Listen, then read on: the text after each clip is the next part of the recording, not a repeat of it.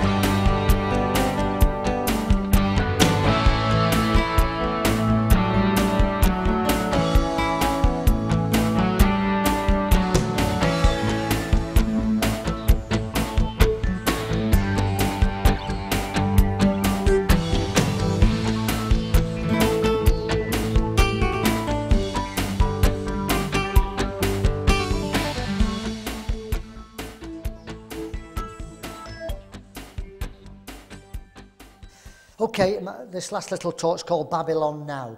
If you've, some of the men have been to the teachings, so this is really an overview. I've got 10 one-hour teachings on 6,000 years of Babylon. I've brought some of the tapes if you're interested. There's, there's 10 video tapes, one hour long, and there's 10 audio tapes, tracing the, you know, the spirit of Babylon right from the seed of Cain right to the end of the world. And I'm going to try and condense it all in half an hour.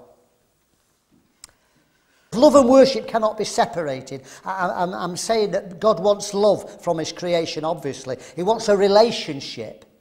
But the relationship comes through worship. The, the, the only reason my wife knows that I love her is because I demonstrate acts of worship. Worship, definite, uh, dictionary definition, amazingly enough, has nothing to do with music. And it has nothing to do with lifting hands or kneeling on the floor. Worship means giving due benevolence. Worship means respecting somebody above you. That's why you call a judge in court. You say, yes, your honour, yes, your worship. Doesn't make him a good or a bad man. One day all the demons in hell will have to worship God. They'll bow the knee and worship, but they will still hate God's guts. Will they not? Will they not still hate God with, with a consuming hatred and yet they'll be forced to worship Him?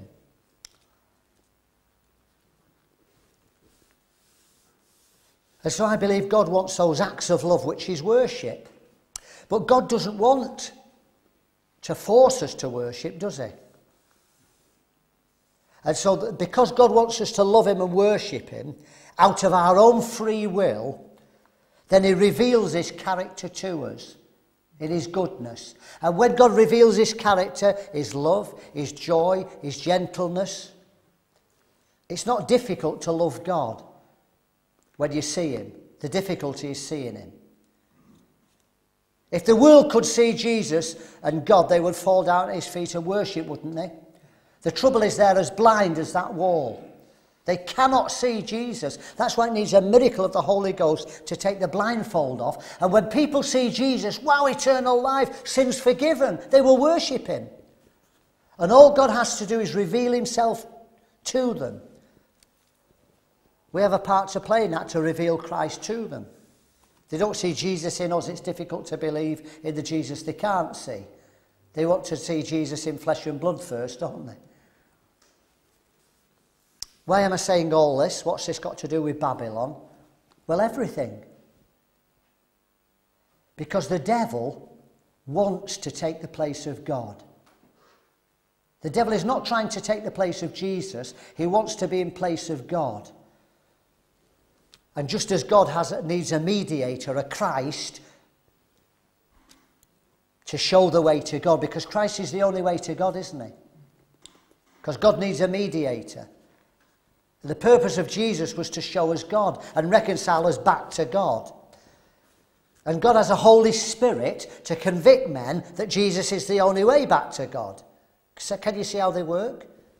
The Holy Ghost is there not to speak of himself, not to say, worship me. We shouldn't worship the Holy Ghost. The Holy Ghost is to convict you of sin and righteousness and judgment, that Jesus is the only way, not to himself. He said, I am the way. Well, the way isn't the end, the way is the way to the end.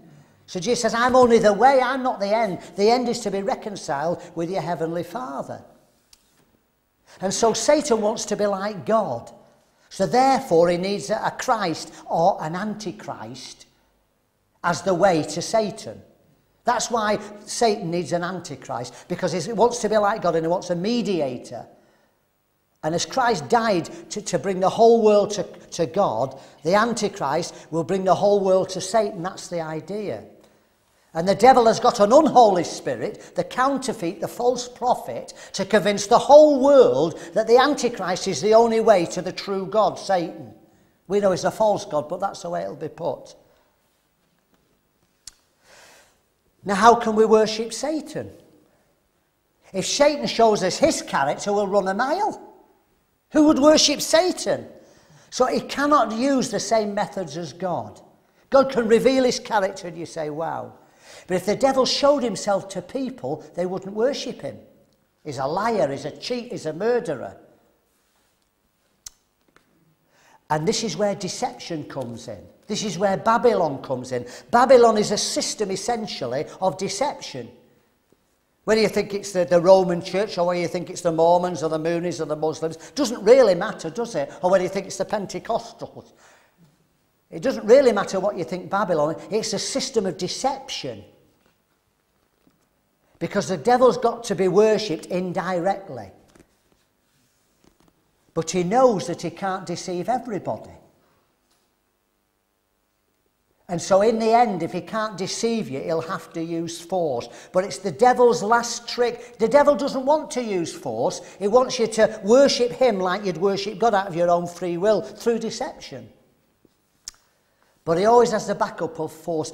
And that's why the devil wants to control the world. The devil doesn't want to control the world so he has all the power.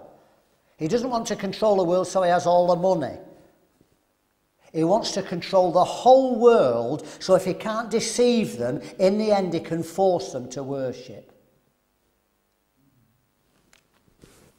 That's why if we look at Daniel in the lion's den, it's like the middle Babylon, isn't it? We've got the, the Tower of Babel, it's the beginning of Babylon where we understand the confusion. Then we've got the, the, the Babylon in Daniel's day, and it gives us a little bit more. It opens up the picture, and we see that music and money and, and statues are to do with it. And Nebuchadnezzar must be a type of the Antichrist. He's the king of Babylon, so he's the Antichrist. And that's why he said, Look, there's a dedication of the statue. Come and worship.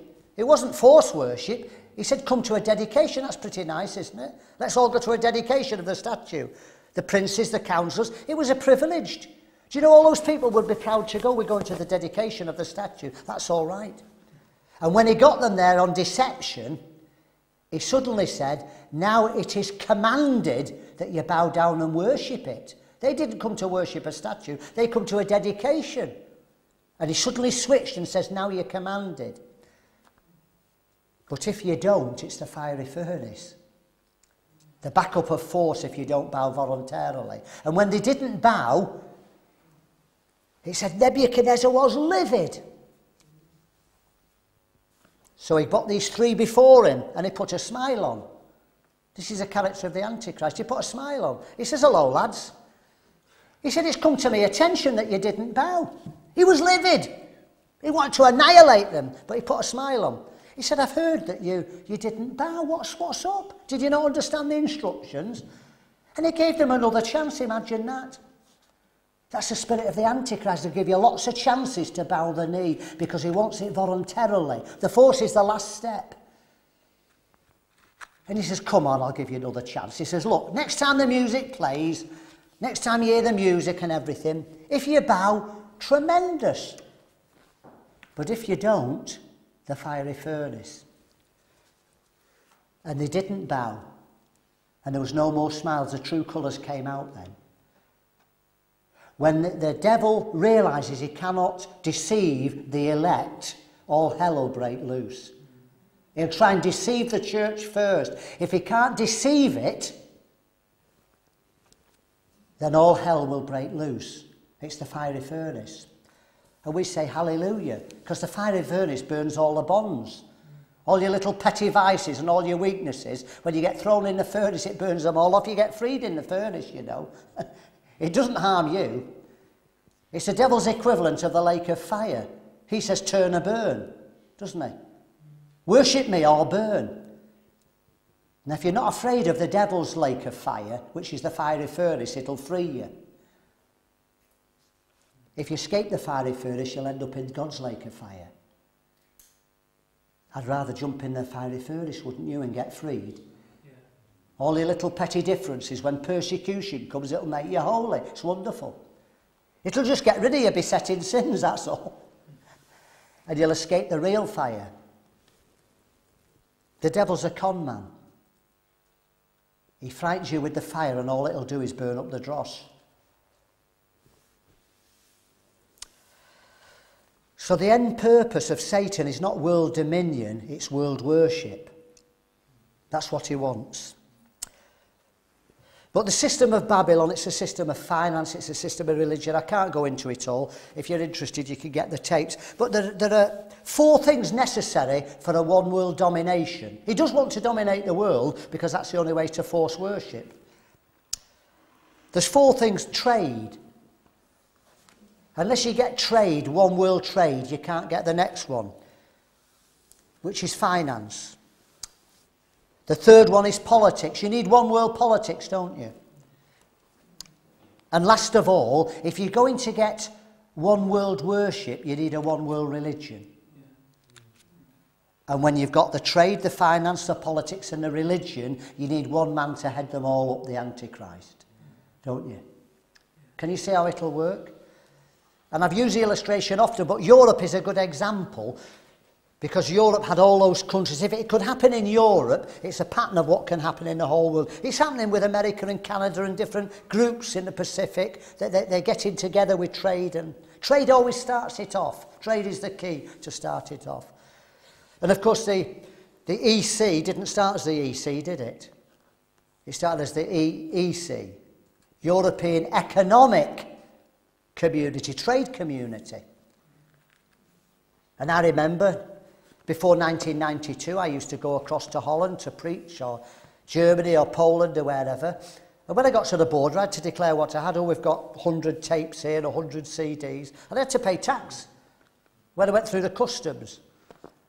But in 1992, the barriers were, trade barriers were broken down.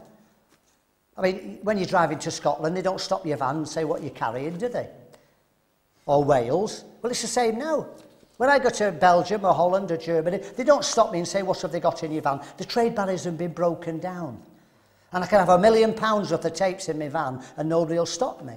Unless they suspect me of narcotics, that's different. But trade, I can trade over Europe now. And as soon as the trade was set up after 1992, it was very, very quickly, they dropped the EEC and called it EC. It was no, it's no longer European Economic Community. That's sewn up now. They want you to forget that. It's just European Community because the trade's tied up, you see. We've moved a step forward, haven't we? The finance, that's going on all the time to integrate the finance. We've now got the euro, haven't we? We're still kicking and screaming our way there, aren't we?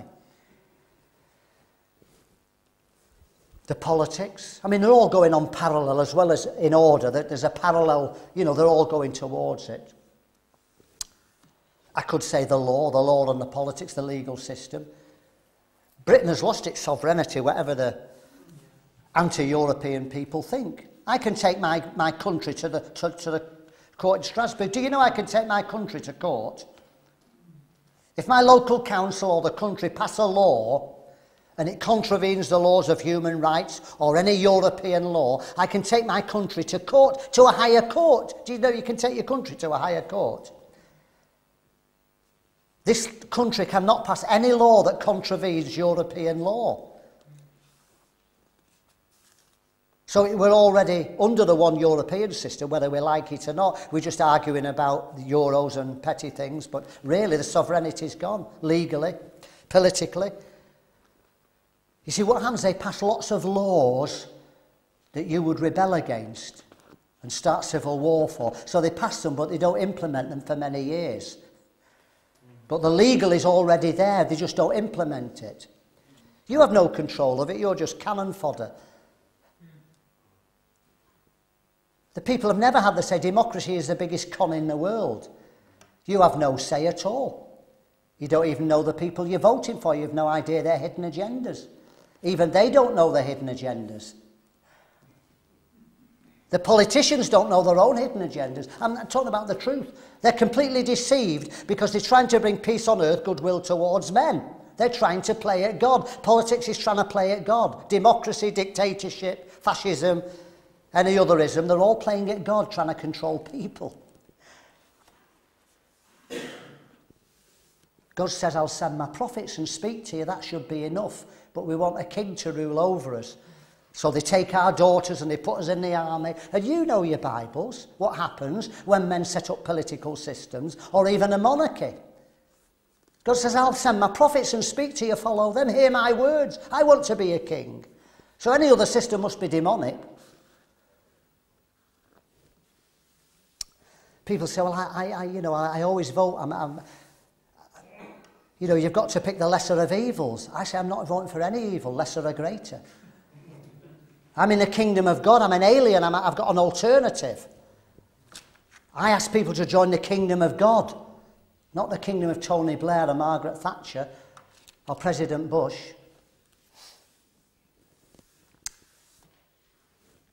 So we've got most of those in Europe trade, finance, politics. The religion's fast coming. Don't be worried about the Muslims, will you? They won't become the one world religion. Hinduism is the one world religion. The New Age is essentially Hinduism. Muhammad's only, Muhammad doesn't only believe in one God, it can't be the one world religion. All roads lead to God, it's the one world religion. Hinduism has 33 million gods. Jesus included, they don't mind putting Jesus up there amongst with them. Christianity and Islam and Judaism have to come down for the one world system, which is basically, if you know anything about the New Age, it's Hinduism. All the meditation that's come in the country, all those things, it's Hinduism. Buddhism, a form of Hinduism. Gandhi was a, a New Ager, not a pacifist. If you forget the film and read about his life, you'll find out a lot of things you won't like about Gandhi. How violent he was how he ordered people to be killed. Don't read the film. The Indian government paid millions of dollars for that propaganda of Gandhi with Ben Kingsley. That's not the real Gandhi. Films are never are. Films are preachers, film producers are prophets, did you not know? They're like pop stars, they're preaching a message. Surely you're not so stupid as to believe the propaganda films, are you? Hollywood's full of the occult, of homosexuality. Are they going to tell you the truth? They're preparing us for the one world. Get, get real, please, Christians. Read your Bible, that'll tell you what's going to happen. And these so called world leaders and peace bringers, they're not peace bringers, they're ushering in the one world.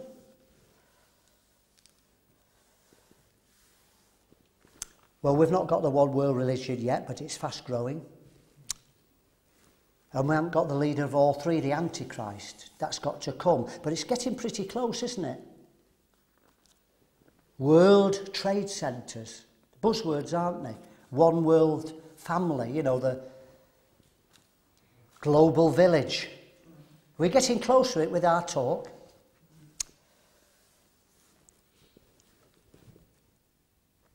I'm going to miss a lot of this out. I've been missing my notes deliberately. I want to leave time for Jeff. So I'm not going to look at the Tower of Babel. The statement of Babylon is in most denominations, Christian ones. What's the statement of Babylon? Let us make a name for ourselves so we are not scattered. Let's pool our resources. Let's do this. Let's put all the churches together. We can have a bigger impact in the community. We can lobby the government. It sounds wonderful. It's actually Babylon. Let's make a name for ourselves so we're not scattered. God wants to scatter that. Because you know very well when a denomination gets financially viable, they become corrupt. The Church of England, the, the Catholic Church, whatever. They were never meant to have so much money that it corrupts them. They were never meant to have political power. The church were never meant to have political power. It corrupts them. We're the offscourings of the earth. We're the light in the darkness, aren't we? You can only change something from being different from it as a Christian, not being part of it. We're in it, but we're not of it. And you've got to be outside it to change it. In the world, you get in it. Let's permeate it. Let's be deceitful, in other words. Let's get in and try and. We don't change it that way.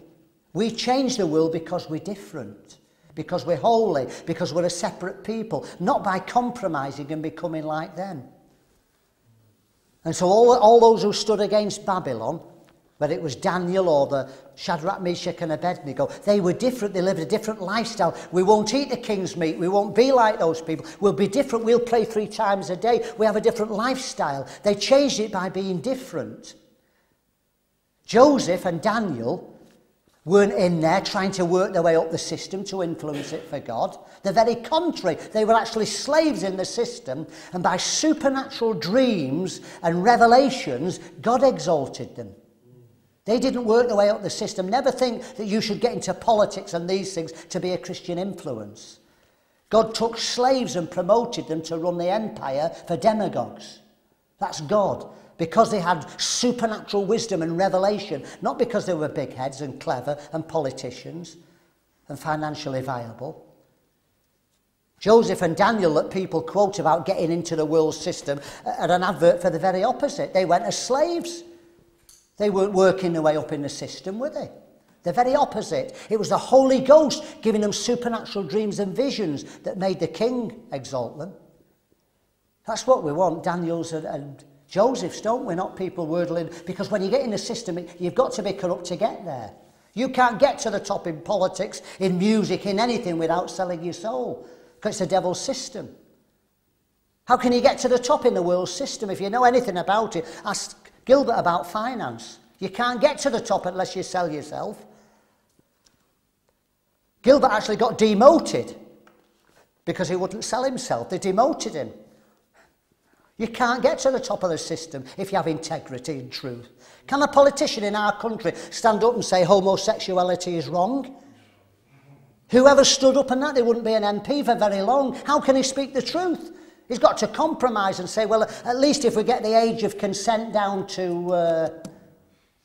And he's compromising right, left and centre. Have you looked up compromise in the dictionary? dictionary?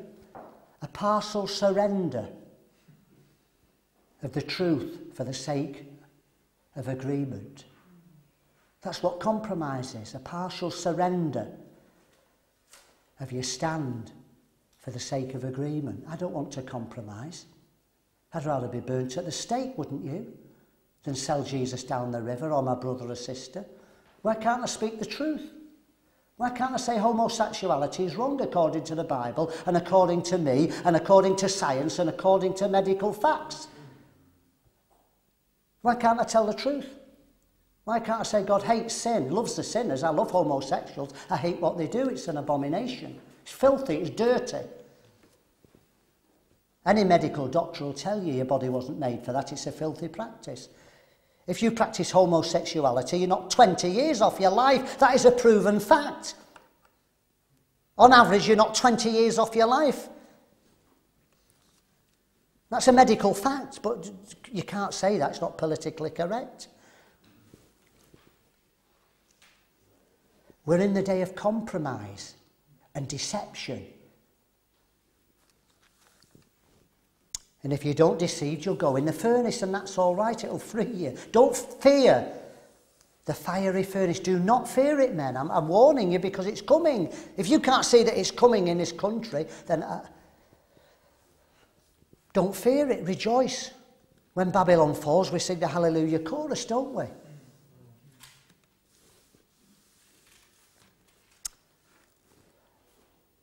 Nebuchadnezzar and Babylon in Daniel's day let us know a little bit more about the end times. And we see that statues and music have come into it. When you hear the music play, bow down and worship. Music is the key to worship not only of God but the Antichrist. That's why there's been an explosion in music, where you hear music when you get in your car, you hear music in the supermarkets, you hear music in restaurants. It used to be background music where it was romantic. Now it's so loud you can't hold conversations. I was talking to somebody yesterday and they say they're now using music very powerfully to motivate athletes and sportsmen. Music and images and they're pounding them away. Even on the coaches going to the, the stadiums, the, the, the uh, athletes are bombarded with loud music. Eminem and, and gangster rap and evil words to motivate them, make them aggressive. Music is a tremendously powerful tool. And Babylon in Daniel's day gives us a key that music and statues will play an important part. Let me, let me just go to Revelation now because I'm saying, where are we now? Revelation 13. I'm just speaking off the cuff uh, for this session.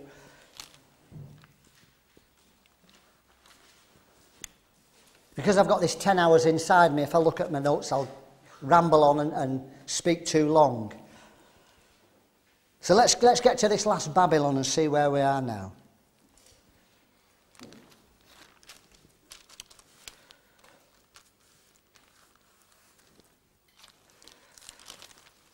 Revelation 13. First, we see the Antichrist, the beast rise out of the sea. I think that most theologians, uh, you know, I don't want to disagree with people, I think most people agree that that beast coming up out of the earth with the seven heads and the ten horns, they believe that's the Antichrist. So let's, let's pass over that.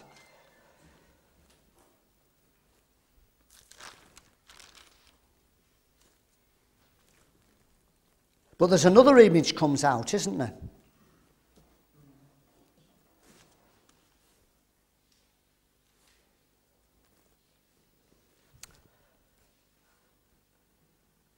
Verse 11. And I beheld another beast. Now, I believe that the, the first beast is the Antichrist. I believe the second beast is the anti Holy Ghost. In other words, the false prophet. There's always an unholy trinity, isn't it? Isn't there? The Holy Ghost is a spirit of truth. The false prophet is a spirit of lies, deception. The Holy Spirit will lead all men that Jesus is the way to God. The false prophet will convince the whole world that the Antichrist is the way to Satan, who will be the true God. So listen to what the false prophet does. You'll see it's that lying spirit. Another beast coming up out of the earth, and he had two horns like a lamb. This is the ultimate wolf in sheep's clothing. Because he had horns like a lamb, not like a dragon. Horns like a lamb. This is the ultimate false prophet to deceive those that dwell on the earth. He had horns like a lamb, but he spoke like a dragon. A wolf with a sheep's heart. Uh, sorry, a sheep with a wolf's heart. A sheep with a lion's heart. And he exercised all the power of the first beast before him, and causeth the earth, and them which dwell on the earth, to worship the first beast, to worship the Antichrist. There needs to be a spirit in the world to deceive people so they'll worship the Antichrist. And he's working in the church. And he doeth great wonders so that he maketh fire to come down from heaven in the sight of all men. Can you see how much of the church will be deceived if they're running round for signs and wonders? A man brings fire down from heaven and say it's Elijah that was for to come. They're even singing now, aren't they? This is the spirit of Elijah. Well, Elijah has to come again, but can you see there's a false Elijah and he's going to bring fire down from heaven in the sight of all men. So Christians who are only on signs and wonders and not living a holy life will get deceived. This must be the real Christ. He's bringing fire down from heaven. And he deceiveth them that dwell on the earth by the means of the miracles which he had power to do in the sight of the beast, saying to them that dwell on the earth, he doesn't want attention himself, this false prophet, does he? Just like the Holy Ghost won't speak of himself, he'll only point people to Christ. This anti Holy Ghost, this false prophet, doesn't want recognition. It's saying to them that dwell on the earth, they should make an image to the beast which had power by the sword and did live. So, you know, Nebuchadnezzar made a statue, didn't he? And said, Bow down and worship it when you hear the music. That was only a prophecy of the one that's got to come. Did you know it's going to happen again that there's going to be a statue? It says it. And he had power to give life unto the image of the beast. Now we're seeing a bit more. This statue is going to talk supernaturally. That the image of the beast should speak and cause as many as would not worship the image of the beast should be killed. And he causeth all, both great and small, rich and poor, to receive a mark in their forehead. Can you see how image, statues, and music is going to play a big part in the end days? That's why we've got a world academic uh, uh of music. And Babylonian music, Western music. Western music is, is, has pervaded the whole planet, do you know? It's funny, isn't it, that, that in the West we're not playing Chinese music. Well, I know there's nothing wrong with it, different scales than ours. We're not playing Jap Japanese music with a Himashito scales and all the different scales they've got, have we? We're playing Western music. You go to Beijing, they're playing European, American Babylon rock. Because Babylon has filled the whole world. We're not playing other cultures of music. It's the West and Hollywood that's pervaded all the others. And you find that American mass production McDonald's, you can get one in Beijing, you can get one anywhere in the, on the planet. But you can also get the rock music because it's come from Babylon. It's the same statue. Do you remember the statue of gold and of silver and of bronze and of iron? Different dynasties, different empires. What people forget is it's the same statue. The legs of, of iron and the feet of clay that we're in now is not a different statue, it's the statue of Babylon. That statue is the statue of Babylon. Well, we're part of it. We're part of Babylon because it's the same statue. It's the statue of Babylon. And when the feet go, the whole statue comes down. Babylon is fallen, is fallen. But it's the feet that get hit with a stone. It's our generation, I believe, that will get that the Christ will come and destroy Babylon. And then the whole system falls down. And if you get the text, you'll find that all our culture, all the Western culture is Babylon. Babylon were the first empire to produce promissory notes for money. If you do mathematics, where does it come from? A Greek, the same statue, Pythagoras. Where does all our law come from? Roman law, the same statue, Babylon. It's the same statue.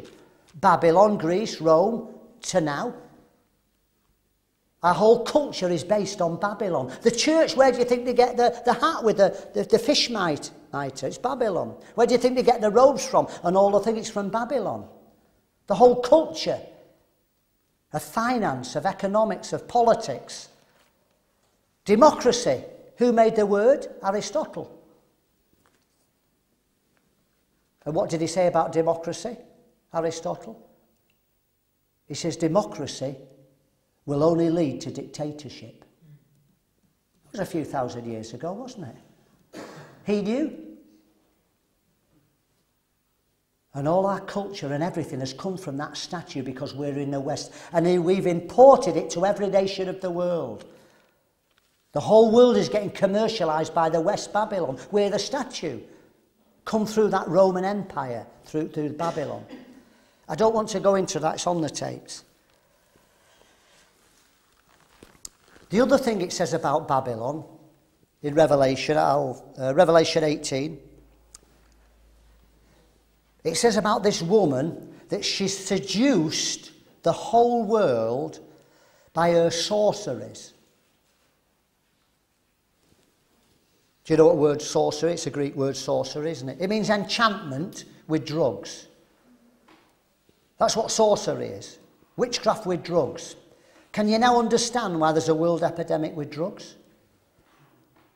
Why is there a world, every, every big nation in the world has a drug problem? Because drugs are a key to Babylon.